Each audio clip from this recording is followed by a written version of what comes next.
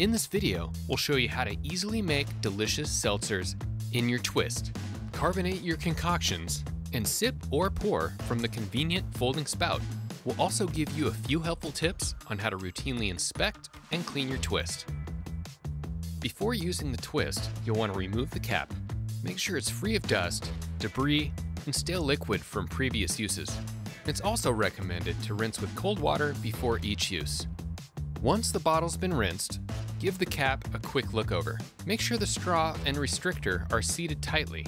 Unscrew the regulator and make sure the cartridge seal is free from any rips or tears. Both retainer tabs are snapped in and the umbrella seal is in its place. Sometimes you may find liquid in the cartridge well. Simply empty it out and push the umbrella seal back into place. Now for the fun part making delicious seltzers. These instructions are good starting points, but can be modified to your taste or liking.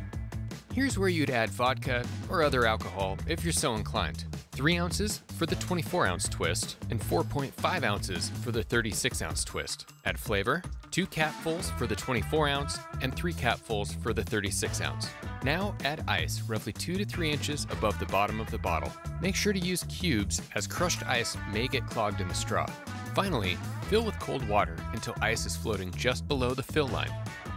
Now, screw on the cap until it bottoms out. Install an 8 gram CO2 cartridge into the cartridge well with the small end pointing up. Screw on the regulator until you hear the sound of gas rushing into the bottle. Give it up to a quarter more turn until firmly tightened.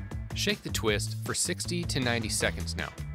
There should be ice rattling around after you're done shaking. Your twist is now ready to use. Either rotate the spout and drink from it directly, or push the dispense button and pour into a glass. There should be enough gas to dispense all day until liquid is run out.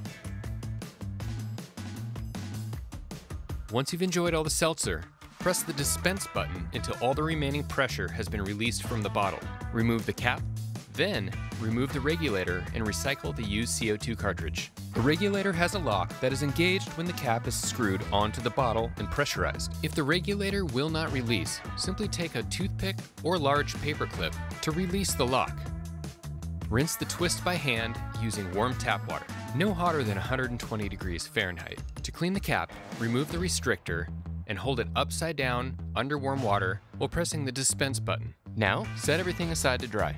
Following these easy steps will keep your UKEG twist in tip-top shape and have you pouring delicious seltzers like a pro whenever and wherever. Be sure to subscribe to our newsletter for great seltzer recipes. Enjoy!